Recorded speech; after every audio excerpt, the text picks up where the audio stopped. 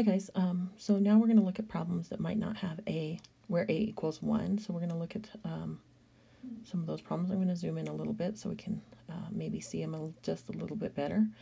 Um, so the first thing I'm going to look at is my coefficients.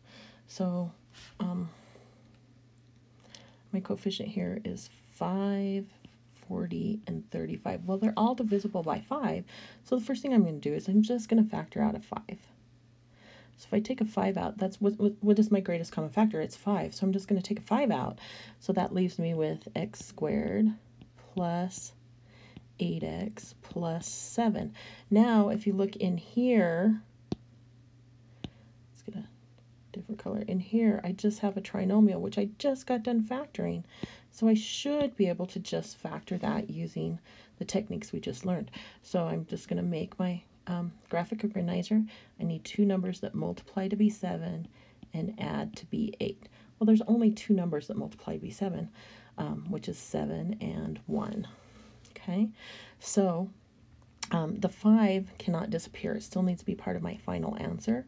So I have 5 times x plus 7 times x plus 1. Now I just want to clarify what I just said. Remember um, that when I multiply this all back out, it has to equal this. That's why the 5 cannot disappear. It needs to be part of my answer. So when I multiply the x plus 7 and x plus 1 back out, I should get x squared plus 8x plus 7 and then I multiply the 5 back through, and then I will get my original equation. So remember, I cannot make anything disappear into the math black hole. Um, does not work that way. So um, here we go for the next um, next problem. Um, and we're going to move on right now. So sorry. Um, here we go. So what goes into 3, 15, and 18? Okay, well 3 does, yeah. So if I take a 3 out, I get x squared plus 5x plus 6, okay? And then I have a trinomial in here, um, right here. So I'm going to just factor this like I've been doing, okay? So that gives me my graphic organizer times, multiply to be 6, add to be 5. Um, so I've got 3, I'm going to leave that out there. X, oh, we haven't factored yet. That was really good, right? So I'm just going to fill that out, and then we'll fill in our blanks. Well, it multiplies to be 6 and adds to be 5. 2 and 3. Good. Plus 2 plus 3. Okay, good job. Got two more to go on this one, and then we'll move to the next section.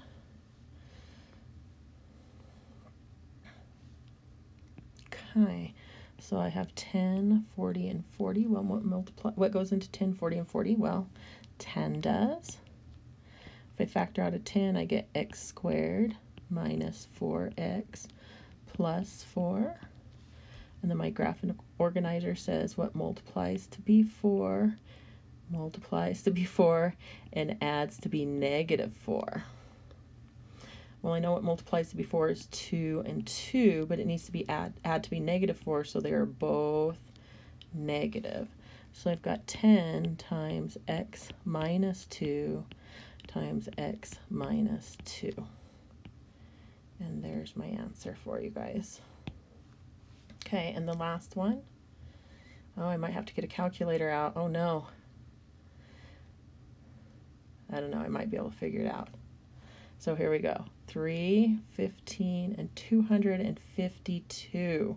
So I'm pretty sure 3 goes into 252. Let's just uh, get our calculator out and figure that out really quick. Um, 252 divided by 3. Yes, it does. 84 times. So I'm going to factor out a 3. So I've got x squared plus 5x minus 84. Awesome. Okay. So then um, I need two numbers that multiply to be negative 84 and add to be 5. So what multiplies to be negative 84? I think that's going to be 12 and 7.